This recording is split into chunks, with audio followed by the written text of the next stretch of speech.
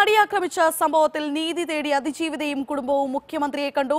സർക്കാർ ഒപ്പമുണ്ടാകുമെന്നും നീതിപൂർവമായ അന്വേഷണം നടത്തുമെന്നും മുഖ്യമന്ത്രി പിണറായി വിജയൻ അതിജീവിതയ്ക്ക് ഉറപ്പ് നൽകി അന്വേഷണത്തിന് മേൽനോട്ടം വഹിക്കാൻ മുതിർന്ന ഐ പി എസ് ഉദ്യോഗസ്ഥനെ നിയമിക്കുന്നതിനെക്കുറിച്ച് ആലോചിക്കുമെന്നും മുഖ്യമന്ത്രി. മുഖ്യമന്ത്രിയുടെ വാക്കുകളിൽ വിശ്വാസമുണ്ടെന്നും ഹർജിയിലെ സർക്കാർ വിരുദ്ധ പരാമർശങ്ങളിൽ മാപ്പ് ചോദിക്കുന്നുവെന്നും അതിജീവിത.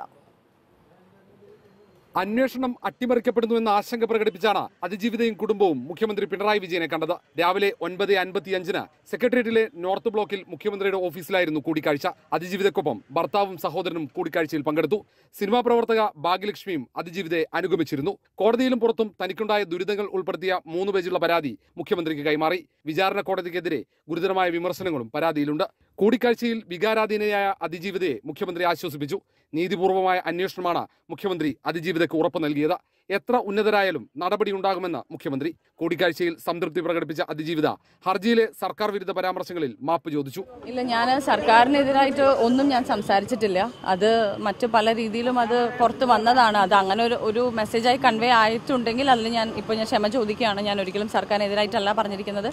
ഇപ്പോൾ ഈ കേസിൽ ഉണ്ടായിരുന്ന എൻ- എന്റെ കുറച്ച് കൺസേൺസ് എന്റെ കുറച്ച് ആശങ്കകളാണ് അതിൽ ഞാൻ പങ്കുവച്ചിട്ടുള്ളൂ. അപ്പോൾ തീർച്ചയായിട്ടും അതിന് വളരെ പോസിറ്റീവായി തന്നെ ഒരു റെസ്പോൺസ് ആണ് എനിക്ക് സി എമ്മിന്റെ ഭാഗത്തു നിന്നുണ്ടായത് അതിജീവിതയുമായുള്ള കൂടിക്കാഴ്ചയ്ക്ക് പിന്നാലെ മുഖ്യമന്ത്രി D G P Anilkant A D G P crimes Sheikh ദബേർ Sahib എന്നിവരെ ഓഫീസിലേക്ക് വിളിച്ചു വരുത്തി. അതിജീവിത ഉന്നയിച്ച പരാതികളിൽ ഉടൻ പരിഹാരം പരിഹാരമുണ്ടാകണമെന്ന നിർദ്ദേശമാണ് മുഖ്യമന്ത്രി നൽകിയത്. കാര്യക്ഷമമായ അന്വേഷണം നടത്തണം. അതിനിടയിൽ മുതിർന്ന ഐ പി എസ് ഉദ്യോഗസ്ഥന് അന്വേഷണ മേൽനോട്ട ചുമതല നൽകുമെന്നും സൂചനയുണ്ട്. R Roshipal reporter Thiruvananthapuram.